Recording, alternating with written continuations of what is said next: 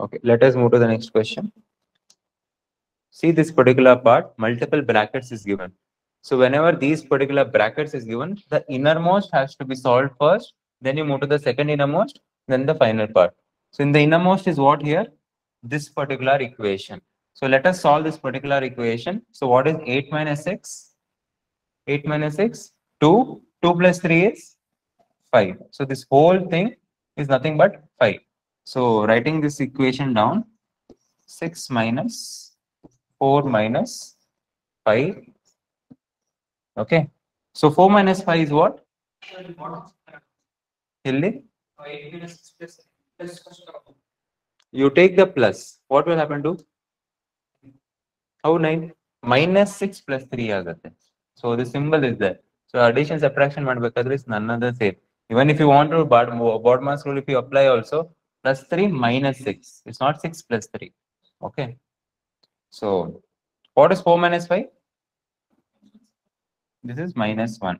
So 18 minus 6 minus in the brackets, it is minus 1. Right? So minus into minus is what? Plus. So this will become plus. So 18 minus 6 plus 1.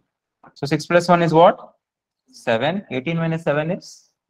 18 minus 7? 11.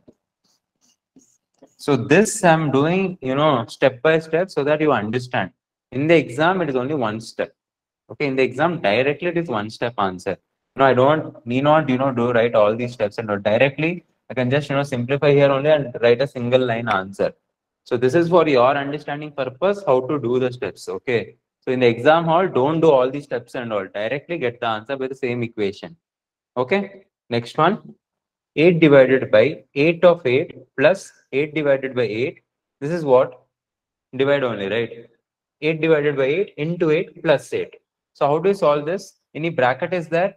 Bodmas rule? No. Order is there? This is your order. First solve that particular part. So 8 divided by, what is 8 of 8? 8 of 8 into 8 plus 8 by 8 divided by 8 into 8 plus 8. So just keep it like this only. So this particular, again, Bodmas rule will apply this whole part. Okay. So 8 divided by 8 by 100. So this 100 will go up. Yes or no? Any number, no, if this particular x is there, this will go to numerator only, no? Just remember this, okay? We have to keep it in the. So next one is what? Into 8 plus, again, this also. 8 by 8 into 8 plus 8. Did you understand how to get this? 8 by 8 we wrote as it is. This divided by 8 went here. This into 8 is here. So it's the same thing, right? Is it same thing or no? No? Didn't understand this particular part? See, 8 by 8, I just wrote as it is. Okay. This divided by 8. So this divided by 8 means what? 1 by 8 only? Yes, and into 8. Isn't the same? Yes. So then you just simplify this particular part. So 8 and 8 is getting cancelled. This 100 will go to the numerator. Yes. So 100 into 8 plus 8 cancelled, 8 cancelled. So what will be left out here? 1 plus 1 plus 8. So what is 100 into 8? 800 plus 9 that is 809 is the answer, final answer. So let us move to next question. So cube root of 125 minus cube root of what will give you 3. So what is cube root of 125? 5, right?